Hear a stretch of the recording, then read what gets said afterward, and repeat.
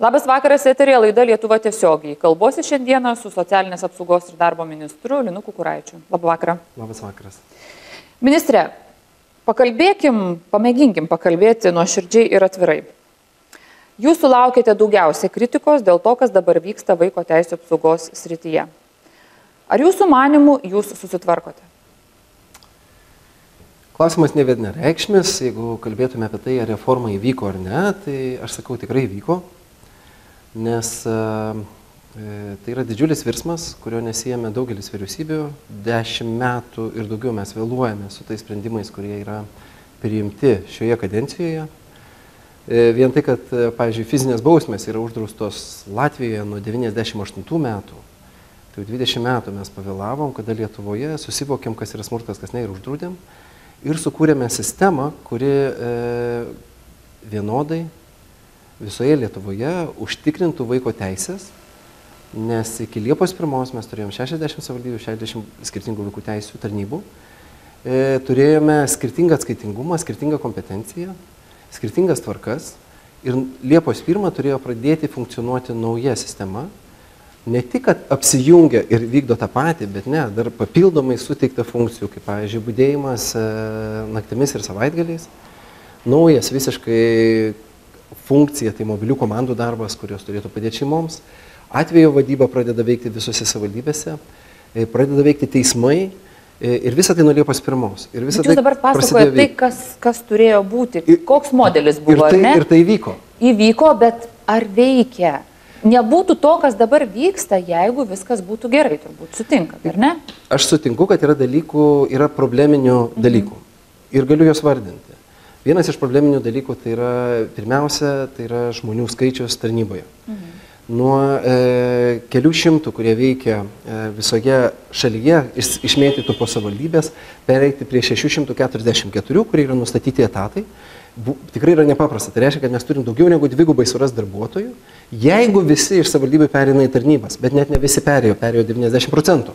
Tai reiškia, mes turėjom surasti virš 300, e, gal 50 darbuotojų naujų. E, į sistemą, kuri labai atidžiai stebima, labai kritikuojama, labai spaudžiama, labai, vat, ką, ką ir mes dabar turime, net kitą kartą šmeižiama ir persiūkiama.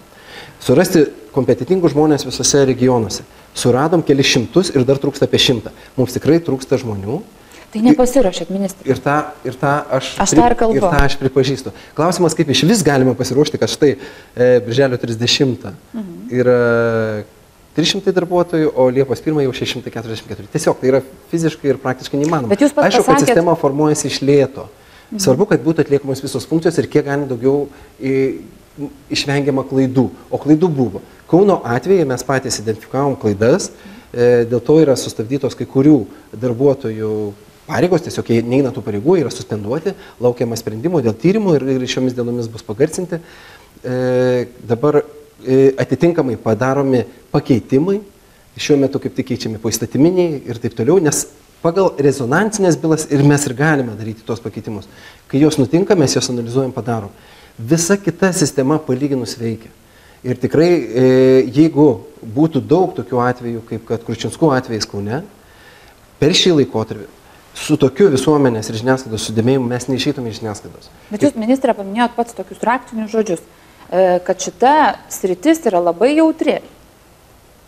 Tai, kas susijęs su vaikais, su šeimomis, yra beprotiškai jautru, todėl reikia apgalvoti turbūt kiekvieną smulkmeną. Aš neveltui jūsų klausiu, ar jūs susitvarkote su situacija. Jūs pats e, laiškė, kurį išplatinote prieš kelias dienas, teigiate, kad jūs girdite kritiką ir jūs prisiemate atsakomybę. Taip, tai, Kaip kas... jūs ją prisiemat, ministrė, pasakykite?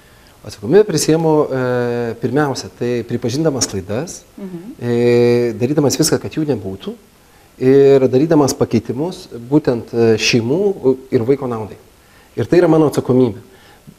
Nėra, jo, nėra Aš taip... noriu pasakyti vieną dalyką. Jeigu tai būtų ne, e, ne, ne valstybės sektorius, o kokia nors privati institucija, tai jeigu taip nutiktų, ar ne, kažkoks projektas, kaip tarkim šiuo atveju vaiko teisų apsaugos reforma buvo projektas, ar ne, socialinės apsaugos ir darbo ministerijos. Galim, galim taip vadinti. Gerai, kažkoks projektas nepavyktų, tai greičiausiai, aš net, net nebėjau, jūs sulaukite dažnai to klausimo ir opozicija į kelią, e, tai greičiausiai reiktų pasitraukti vadovui ir taip prisimti tą atsakomybę. Ar jūs svarstate tokį variantą? Jūs raginimų labai daug sulaukėt. iš tiesų aš tų klausimų sulaukiu. Pirmiausia, tai, kad e, vienas dalykas, tai aš net neturiu laiko apie tai mąstyti. Bet. Realiai, nes e, yra tiek darbo dieną, naktį, kad sutvarkyti sistemą iki galo. Nes nuo Liepos pirmos, tikrai vis, iki Liepos pirmos ir nuo Liepos pirmos visi dirbo dieną naktį, kad ta sistema funkcionuotų. Antrasis dalykas, e, e, klausimų, atsakyčiau klausimą. Ar tikrai būtų geriau, jeigu ateitų, e, pasikeistų visiškai nauja vadovybė, mhm. kai šita vadovybė įgyvenino reformą, kai jinai turi visus tiek strateginius, tiek e, praktinius instrumentus padaryti tvarką Lietuvoje, nes jinai nebuvo, primenu, 10 metų daroma, niekas nesėmė šitos lyderystės, iš kur dabar atsiras tie ministrai, kurie sakys, mes norime ir mes padarysime geriau. Ir ar tikrai tai bus, ar tikrai pačiai reformai yra geriau. Tai čia tikrai turi apsispręsti politikai, tie, kurie mane, e, mane kvietė į šią komandą. Kol kas premjeras išreiškė pasitikėjimą, kad mūsų komanda gali tęsti reformą ir, ir, ir ją įgyveninti geriausiai, kaip, kaip galime. Tai aš tuo pasitikėjimu remdamasis toliau tęsiu darbą ir, kaip ir sakau, darome viską nuoširdžiai, kad, e, kad sistema kiek galima geriau funkcionuotų. Tai gerai, jūs man klausimų į klausimą, aš irgi jums klausimų į klausimą. Ar tikrai negeriau būtų, jeigu, e, kaip dabar yra, e, akivaizdu, kad, na nežinau, dėl ko jūs bandot išvardintas priežastis, trūksta žmonių ir taip toliau, taip toliau, bet iš esmės nepavyko padaryti to, ką jūs norėjote Ir ar tikrai tas kitas žmogus negalėtų padaryti geriau negu jūs? Jūs nemanot, kad jūs šiek tiek per daug laikotės to posto, kuriame esate, vietoj to, kad, na, galbūt tas jūsų atsitraukimas šiek tiek apmalšintų elementariai aistras visuomenėje?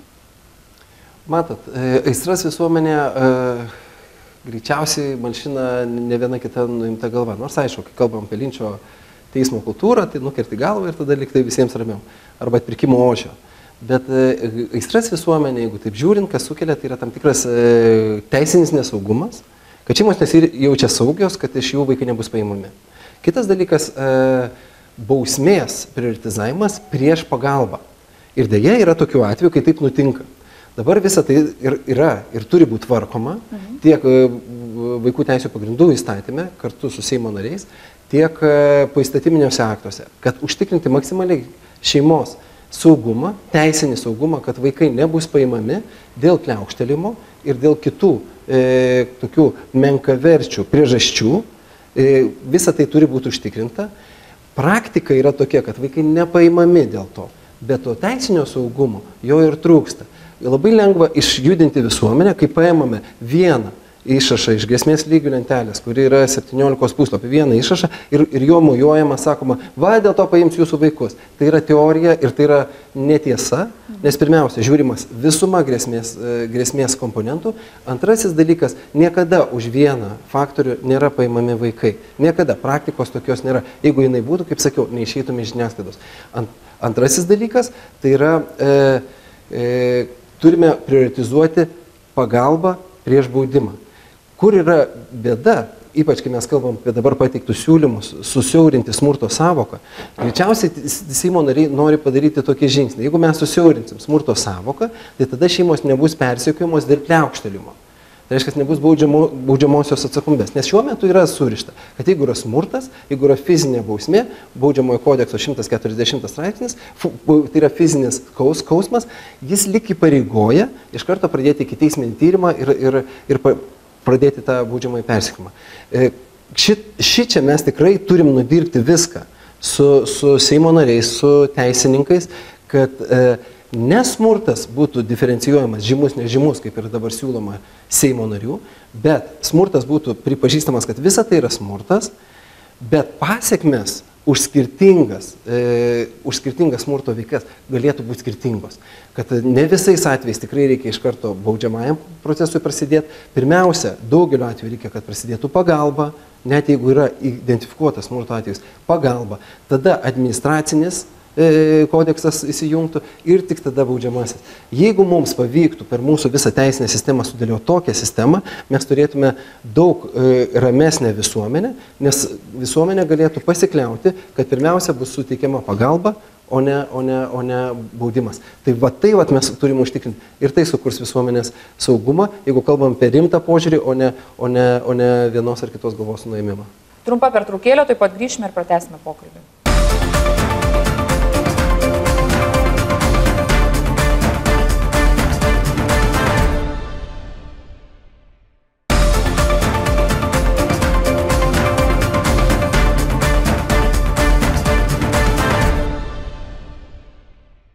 Linas Kukuraitis, socialinės apsaugos ir darbo ministras, šiandieną laidoje. E, jūs užsiminėte apie tas pataisas, kurias pasirašė pusšimtis parlamentarų praėjusią savaitę, kuriuose, kuriomis siūloma keisti smurto prieš vaiką savoką. Fizinių smurtų turėtų būti laikomas tik vaikui sukeliamas žemus skausmas, o į psichologinio smurto apibrėžimą reikėtų įtraukti prievartinį vaikų ir tėvų atskirimą prieš jų valią. Visos šitos pataisos gimė kaip pasiekmė to, kas vyko. To e, galbūt iš dalies ir visuomenės nesuvokimo tam tikrų dalykų arba pasipiktinimo ir baimės e, pasiekoje. E, bet tas pataisas siūlo frakcijos, kuri jūs delegavo e, į šitą postą narys, Mindaugas Puidokas. Na, tai daug, jūs lik neturit pritarimo ir, ir savoji frakcijoje. Daug Seimo narių siūlo tas praėjų. Pasirašė, taip. Taip, pasirašė daug. E, E, su Mindaugu tikrai nemažai kalbamės e, tiek apie teisės aktus, kuriuos siūlo, tiek apie e, kaip turėtų būti pakeitimai daromi tiek įstatymų projekte, tiek po įstatyminiuose. Nes kaip ir sakau, ir po įstatyminiuose tai reiškia ir mano nustatytose tvarkose yra klaidų, abstraktybių, kurias reikia keisti. Tai kalbant apie bendrą palaikymą, iš tiesų pačiam Seime net ir, net ir frakcijoje yra skirtingų nuomonių apie E, taip kaip vaiko teisų pagrindų įstatymas turėtų būti keičiamas, visi sutarė, kad jis turėtų būti keičiamas. E, bet ne visi sutarė, kad smurto savoka turėtų būti liečiama apskritai. E, šiuo atveju, kai mes kalbam apie smurto savoko susiaurimą, aš jau sakiau, kad turbūt yra intencija apsaugoti šeimas, kad nebūtų e, brutaliai valstybė neįžengtų su būčiamuoju procesu, jeigu tai yra e, menka vertis smurtas, tai pliaukštelimas ar, ar, ar, ar taip toliau. Bet, kad nebūtų vaikas krašt, paimamas, kad būtų vaikas įmamas tik tai kraštutiniu prie. Čia net ne apie paėmimą, čia net apie baudžiamojo proceso Aha. klausimą, nes gali būti vaikas visiškai būti neįmamas ir vaiko teisės gali priskirti paslaugas, padėti, bet iki teisminis tyrimas tyrimas jau bus prasidėjęs, netgi tam tikros kardomosios priemonės gali būti pritaikytos, kaip atskirimas nuo šeimos, e, e, vieno iš tėvų ir, ir taip toliau, ką mes matėme ir Kručinsko atveju.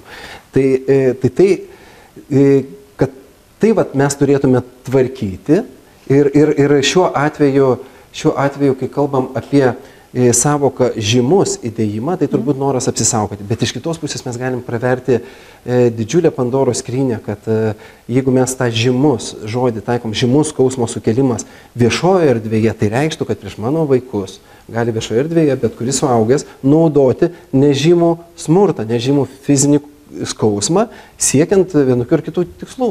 Už, už paimtų iš ausies išvesti iš e, troleibuso, jeigu vaikas neina dėl to, kad neturi, paži... E, reiškia, biletėlio, ar, ar, ar, ar klasėje taikyti tam tikras netgi fizinio skausmo, jeigu siekiama tam tikrų tikslų. Tai tikrai kai apie tai kalbame, tai jau tėvai nesutinka ir šeimos nesutinka, netgi daugelis turbūt tų, kurie atėjo mitingą, nesutiktų, kad to, tokios priemonės būtų leidžiamos. Bet jūs sutinkat, kad gerai, jeigu jūs kalbat, e, kad e, e, jūsų kolega, na, galbūt nežinau, buvo suklaidintas ar, ar dėl kažkokių politinių dividendų tai daro, jis bet be kita ko teigia, kad jūs pritarėte šitam pataisom pradžioje ir ne va po to išėjęs visai kitaip kalbėjote.